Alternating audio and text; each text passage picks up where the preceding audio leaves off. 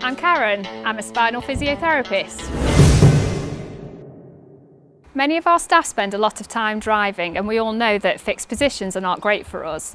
One in five staff report having musculoskeletal injuries related to work-based activities. In this video, we're going to offer advice on how to adjust your sitting position to make your driving more comfortable and to minimise the risk of musculoskeletal injury. To get into the vehicle, stand facing away from the seat, sit down lowering yourself using the car for support if needed. Once seated, turn to put your left leg in, followed by your right leg. Now you need to adjust your seat for a comfortable and safe driving position.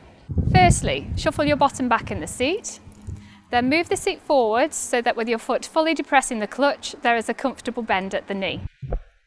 Next, adjust the height of the seat so that your hips are just in line with your knees and most importantly so that you can see over the dashboard and the steering column.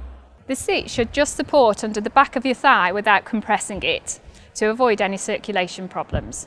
Adjust the seat angle to the position where your back and shoulders are nicely supported. It does not need to be upright, in fact this is a common misconception.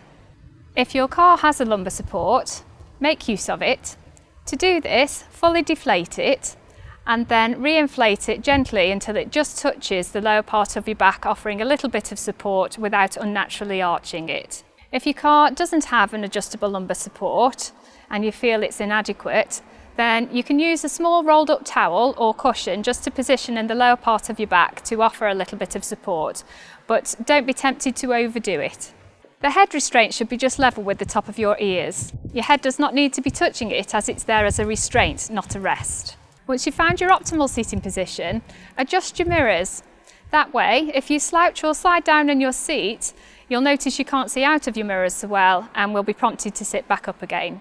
A lot of shoulder and arm discomfort comes from overreaching to the steering wheel. Your shoulders should be relaxed, your elbows slightly bent, and with your arms out in front of you, your wrist should just drape over the top of the steering wheel. If your arms get tired or tingly when you're driving, just try adjusting the steering wheel position. The recommended hand position is at 9 and 3 o'clock. This gives you best control of the steering wheel and optimum position of your arms. It's also the safest position for your hands if the airbag deploys. You may now need to alter the height of your seatbelt if you've adjusted your seat greatly and also if you share a car with others. In some cars, you can store your seat position to memory. Do so if you can, so that you can move your seat back fully to make it easier to get in and out of the car. Then turn to pop both of your feet outside of the car, stand up, use the side of the car for a little bit of support again if you need it. Thanks for watching, sit comfortably and please drive safe.